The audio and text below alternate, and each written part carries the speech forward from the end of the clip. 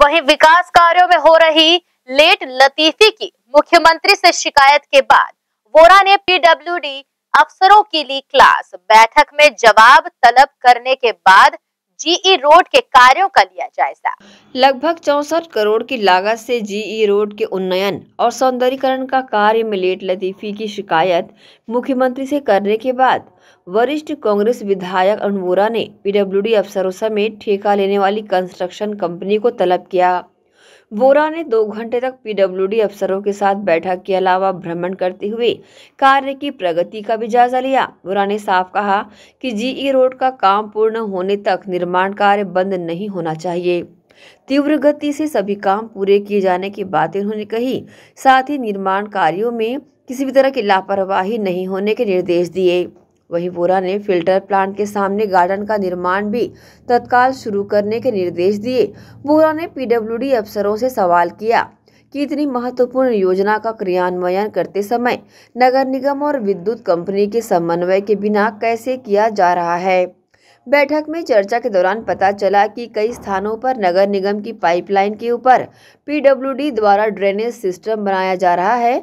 वोरा ने इस पर सख्त नाराज़गी जताते हुए कहा, पाइपलाइन जीई रोड के ऊपर कैसे बनाया जा सकता है? पूर्व में पीलिया और डायरिया से कई लोगों की मौत के बाद नालियों से होकर जाने वाली पाइपलाइन को हटाया गया था। अब पाइपलाइन के ऊपर से ड्रेनेज सिस्टम विकसित करने से वही परिस्थितियाँ निर्मित होगी, जिससे शहर में संक्रामक बीमारियाँ फैल सकती है।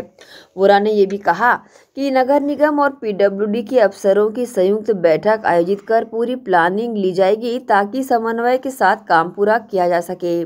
वोरा ने पोल शिफ्टिंग के काम को प्राथमिकता देते हुए कहा कि जी रोड के सौंदर्यीकरण कार्य में किसी भी तरह की रुकावट ना आ सके।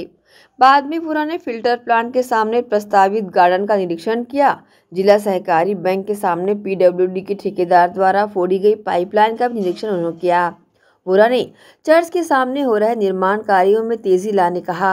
इस संबंध में न्यूज़ टीम को शहर विधायक अनमोरा ने अपनी प्रतिक्रिया दी। सरकार आने के बाद माननीय मुख्यमंत्री जी के माध्यम से हमने दुर्ग शहर के नेहरू नगर से लेके मिनी माता तक सड़क का चौड़ीकरण और सौंदर्यीकरण के लिए लगभग चौंसठ करोड़ रुपये की राशि स्वीकृत करवाई थी। और यह काम प्रारंभ भी हो गया था। प्रारंभ शुरुआत में तो काफ़ी तेज़ी से चला, उसके बाद इसकी रफ्तार में धीमी हुई। रफ्तार धीमी होने के कारण लोगों को परेशानियाँ बढ़ी, क्योंकि जैसे इसमें डिवाइडर बना लाइट नहीं लगी है। अभी तक लाइट लग जा रही थी एक साल में। दुर्घटनाएँ बढ़ने लगी, लोगों को आवागमन में परेशानी होने लगी।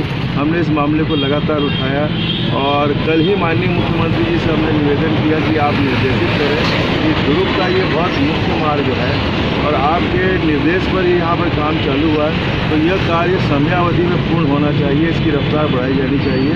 तो आज उसी का परिणाम है, आज हम पूरे अधिकारियों के साथ यहाँ आए हैं और साथ ही नगर निगम के अधिकारी और लोक निर्माण के अधिकारी आपस में सामंजस्य करके इस कार्य को करते हैं तो ये कार्य और तेज़ी से होगा। इस बात के लिए भी हमने आज अधिकारियों की बैठक में निर्देशित किया पाइप लाइन है नाली निर्माण हो रहा है पाइप लाइन सामने आ रही है तो उसमें नगर निगम उस पर ध्यान दें। और जो यहाँ सौंदर्यीकरण करना है सौंदर्यीकरण का स्थल भी बताया।